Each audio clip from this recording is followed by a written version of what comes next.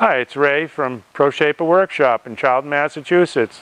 I haven't been here for a while, but I'm back again. Uh, next week, I'm hoping to do a bunch of videos. I've been super busy. I've been working on the English wheel. If Mark wants to pan over here, we're getting all the mechanism worked out. We got a big uh, order for all the water jet cutting and everything. And uh, I had a couple classes, the, the first, uh, the couple, last two weekends, I guess. And Peter came for the class this past weekend and he had bought the 130 hour package so he's been staying on until today was his last day. And uh, Peter's from Chicago. He's been to the class a couple times and he wants to develop his own uh, scratch build project. And he's a very, very good woodworker making rocking chairs and all kinds of nice uh, woodworking projects. He's been doing that for about 20 years or so and he wants to get into metal and that's why he took my class. And he hasn't really bought all the tools yet and stuff but he's still investigating he's taking his time tiptoeing into it. And uh, the thing that really baffled him was how I did these drawings. Even though I've got videos on it and stuff he wanted to partake in doing one himself. So uh, him and I worked two days we had uh, a few lines up there that uh, one of my volunteers and actually another student had started trying to interpret what I wanted uh, and uh, I wasn't really happy with it. So we kind of basically clean slated the whole thing and we started from scratch and just the two of us. And what we used was this little model here that I bought. It's a 118 scale model. I got it on eBay. It was like $54 I believe it's a pretty good representation of all the Studebaker lines. I have a, collection of pictures that I've assembled, but we really didn't use the pictures. And one of the key uh, elements, I call it the Rosetta Stone, was that uh, I'm doing the, the Indy uh, race car, the 1931 Studebaker race car with Gary Ash, another student of mine. And he's really uh, wound into the Studebaker clubs and he connected me with a guy up in New Hampshire who's got a bunch of Studebakers and he just happened to have a 1937 Studebaker front fender. And uh, it's severely rusted. It's kind of thin and it's got uh, you know modeling all over from the rust and a few little rust outs here. It could be possibly saved but it's it's very marginal. But the good thing is it has all the nice lines to it and shape and everything so I was able to use that as the scaling uh, vehicle for scaling the whole car. Now the, the original Studebaker is a 1937 Studebaker Express pickup and I don't know what the production on them was but it's one of the most beautiful 30s vintage pickups I believe. And it's always appealing to me. And a few people have uh, uh street rodded them and they look really nice street rodded. Well, what I didn't like about it was that the cab is very small and the seat is almost straight up and it's kind of tight in there. So I figured I was going to make the cab a little bit bigger and I didn't mind messing with the lines. Now I'm going to scratch build this entire car and uh, I'm going to do it all in aluminum. So now I'm going to finish the, the Jaguar nose and then go straight into building this Studebaker and every aspect of it will be videoed and it'll be up on my website, uh, my YouTube uh, channel, ProShaper Workshop.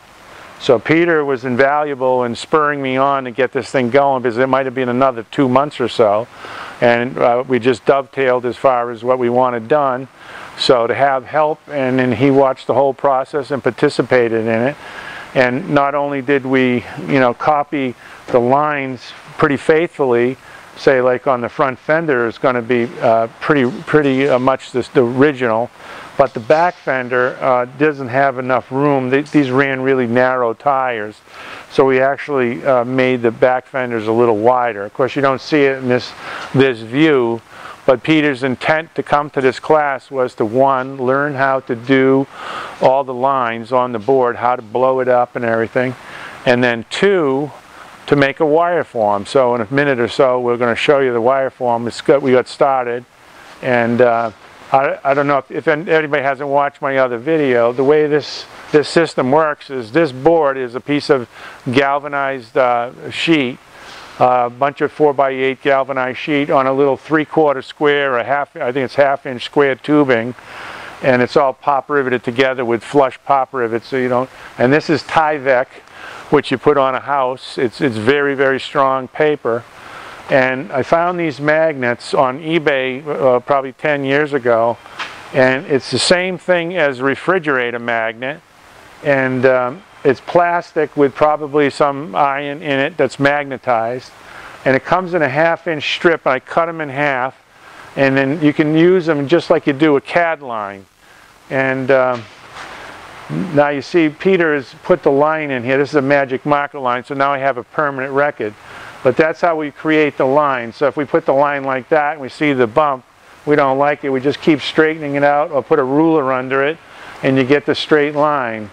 And then to arcs, the same way. If you have an arc that you don't like, it's too much, too little, you just keep adjusting it, stand back, and it's a really nice, simple system. So I also have Mr. Adjustable in here. I made him years ago. Uh, and uh, he has all these little wing nuts. And what I did was I want to make sure that this truck fits me. I'm six foot three. And uh, I took that. I have a 2014 Chevy Silverado. And I took Mr. Adjustable out to my Chevy Silverado, sat him in the seat, put his hands on the steering wheel, his foot on the pedal, and then I tightened them all up and then I set them in here.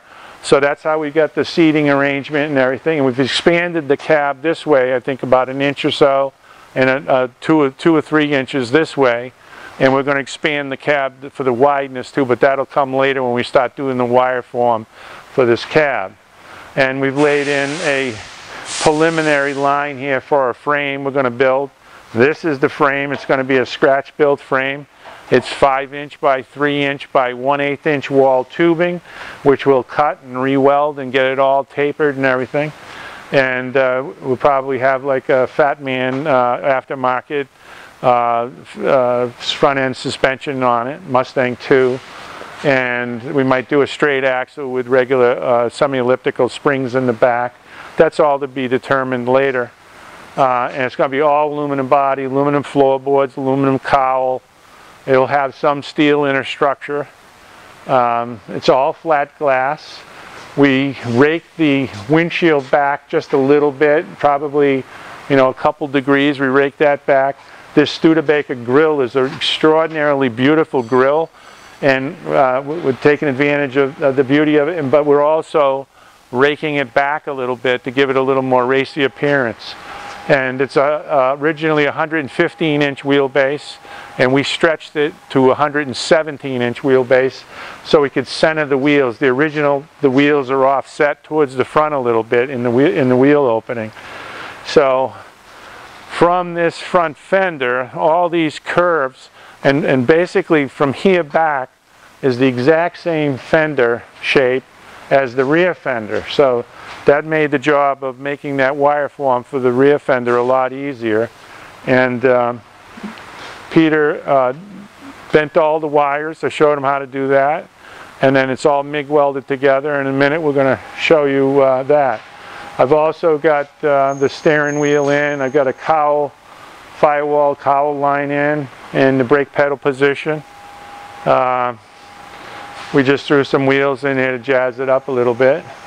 And Mark made a really nice t-shirt today, and it should be up on our uh, Teespring showing this as the build. And uh, this will probably be uh, at least about a year-long build or more.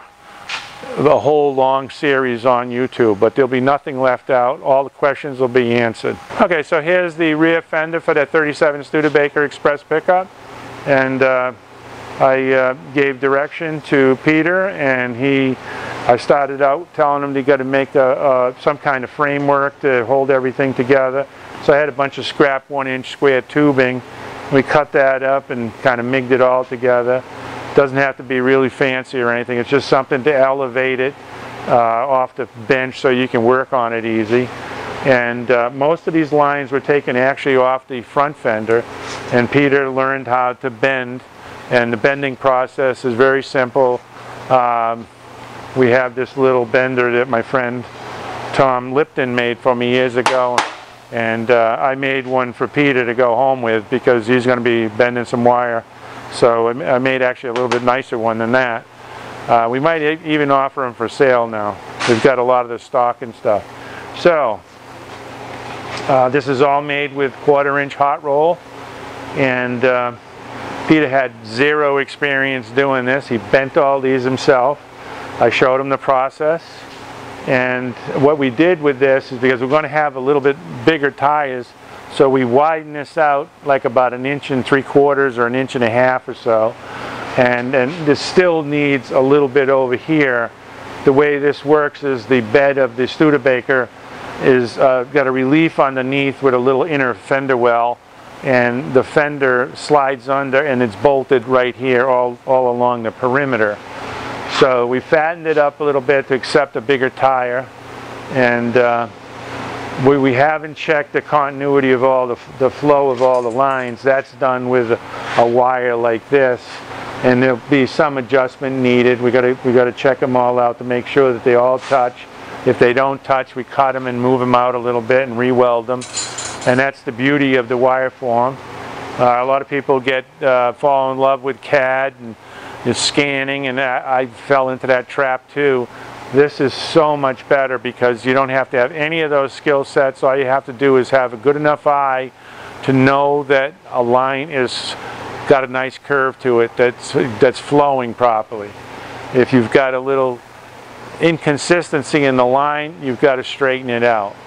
So, and if you make mistakes, you just cut it, MIG weld it back together again. You got infinite variety of infinite uh, uh, variable factor to change things. It's not like you cut a piece of wood and, and then you're stuck with it and you have to get another piece of wood or something.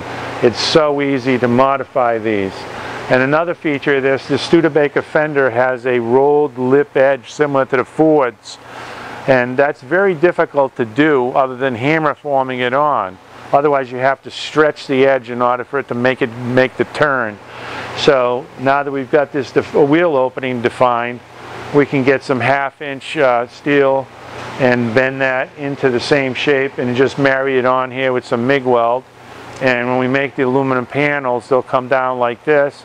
You anneal that little section right there and then just roll it, hammer form, roll it right around that wire.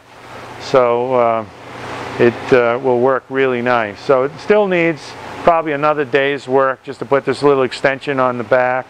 And then also it's, see it's a little buzzy here, so we'll put some stalks coming over here and that'll hold it really strong. And uh, after that it's just about done.